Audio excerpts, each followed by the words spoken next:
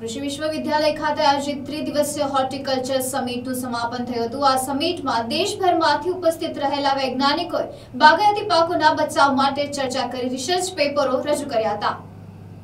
ભારત કૃષિ પ્રધાન દેશ તરીકે આગવી ઓળખ ધરાવે છે. દેશભરમાં ખેત પેદાશનું મબલક ઉત્પાદન થાય છે. ખાસ કરીને બાગાયતી પાકોમાં પણ ખેડૂતો સારું ઉત્પાદન મેળવે છે, પરંતુ ચાલીસ ટકા જેટલા પાકનો બગાડ થાય છે. જે નુકસાનનો આંકડો એક લાખ કરોડ જેટલો થાય છે. આ નુકસાનને જો અટકાવી શકાય તો ખેડૂતો માટે લાભકારી પરિસ્થિતિનું નિર્માણ થઈ શકે. આ જ વિષયને લઈને દેશભરના કૃષિ વૈજ્ઞાનિકો સતત ચિંતન કરતા આવ્યા છે.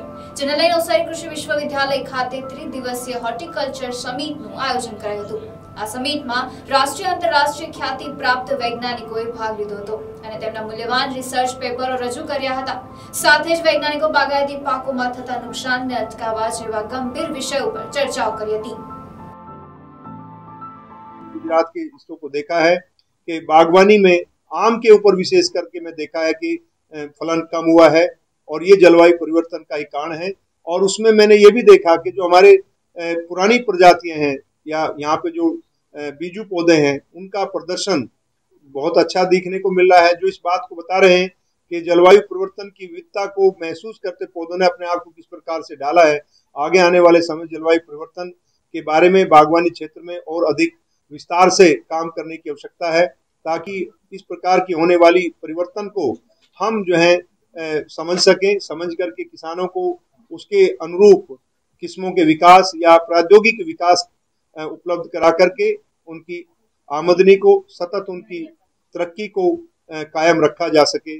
इस दिशा में हमारे सभी वैज्ञानिक, ऐसे तो सजग होकर के सभी कृषि विश्वविद्यालय के वैज्ञानिक कार्य कर रहे हैं। इस विषय को प्राथमिकता पे आगे बढ़ाने की आवश्यकता है, ताकि देश के किसानों की समृद्धि को सुनिश्चित किया जा सके।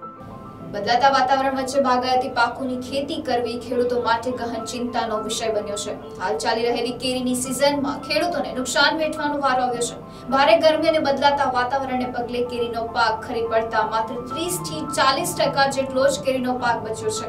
આ વિષયને લઈને પણ સમિટમાં વિસ્તૃત ચર્ચા કરવામાં આવી હતી.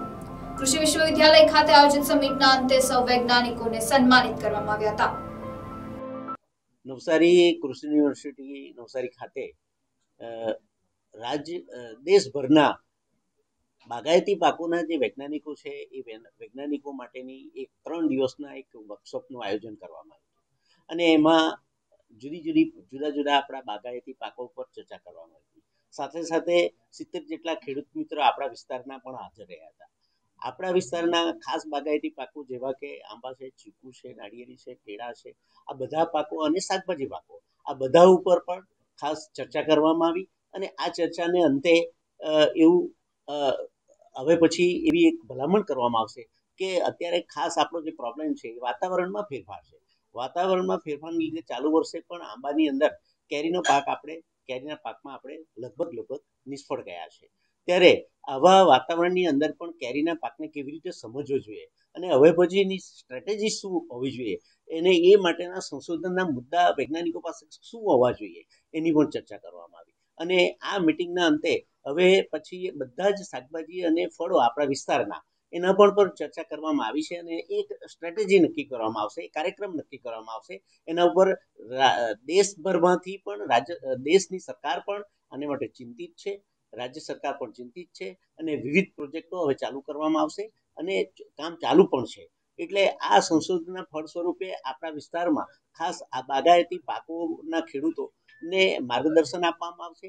એટલું નહીં પણ આ બાગાયતી પાકો આપણી, આપણા આપણા સ્વાસ્થ્ય માટે પણ કેવી રીતે ઉપયોગી થઈ શકે છે તેને માટેની પણ અને પોસ્ટ હાર્વેસ્ટ એની એમાંથી વેલ્યુ એડિશન કરીને કેવી રીતે આપણે લાંબા સમય સુધી એ બાગાયતી પાકોને માણી શકીએ આપણી, આપણા સ્વાસ્થ્યમાં એનો ઉપયોગ કરી શકીએ, એ માટેનું પણ ચિંતન કરવામાં આવ્યું છે.